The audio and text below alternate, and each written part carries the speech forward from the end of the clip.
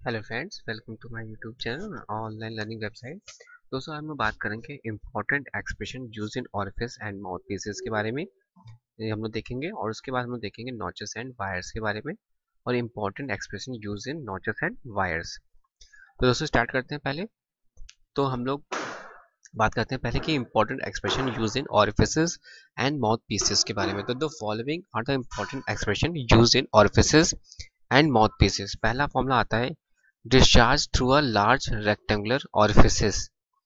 Discharge through a large rectangular orifice, q is equal to 2 by 3 cd dot b square root of 2g bracket में h two three by two दोस्तों, यहाँ ध्यान रखिएगा आप लोग H two है H one है। तो H two three by two minus H one three by two this is the power power है दोस्तों three by two minus H one three by two तो क्यू क्या है?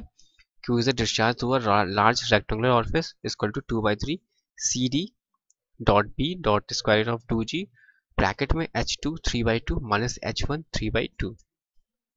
The point at which streamlines first become parallel is called vena contra and the cross-sectional area of the jet at vena contra is less than that the orifice. The theoretical velocity of the jet at the vena contractor VCD is given by V theoretical denote करते हैं दोस्तों square root of two g H this expression is called the toll का theorem जो क्या हम लोग बोलेंगे? ट्रॉल का टॉर्सिला थ्योरम तो P T H square root of two g H हो जाएगा।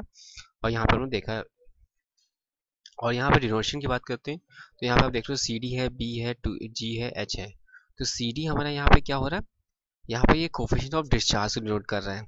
बी हमारा क्या है? ब्रेथ ऑफ़ ऑरिफिस को डिनोट कर रहा है।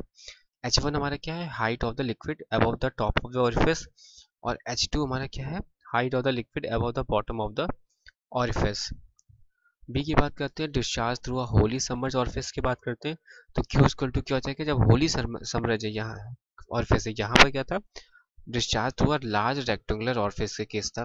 यहाँ पर हम लोग बात कर रहे हैं discharge through a wholly submerge orifice तो क्या हो जाएगा formula Q equal to C D B bracket में H two minus H one bracket को square root of two g H H one हमारा क्या है? Height of the water above the top of the orifice H two क्या है? Height of the water above the bottom of the orifice capital H क्या है? Difference between the two water levels on either side of the orifice see figure की बात करते हैं तो time required to empty the tank completely through an orifice at the bottom तो capital T equal to two capital A square root of H one upon C D dot a square root of two G D U क्या हो जाएगा? Time required to empty the tank through an orifice at the bottom तो capital T equal to हो जाएगा fourteen pi R की power five by two upon fifteen C D dot a dot square root of two g तो यहाँ पे R क्या है? R हमारा रेडियस ऑफ़ हेमिस्फेरिकल टैंक है। आर क्या हमारा radius of hemispherical tank E क्या है? डिस्चार्ज थ्रू एक्सटर्नल और माउथ पीसेस जिसमें Q equal to zero point eight five five A square root of two g H ये हमारा क्या cross sectional area of the mouth piece capital H क्या है? Height of the liquid above the mouth piece small F क्या है? Discharge through the internal mouth piece when is running free जब हम लोग बात करेंगे discharge through internal mouth piece की तो फॉर्मूला क्या हो जाएगा? जब रनिंग फ्री है तो Q equal to zero point five a square root of two g capital H discharge through internal mouthpiece when the running is full. Running full condition होगी?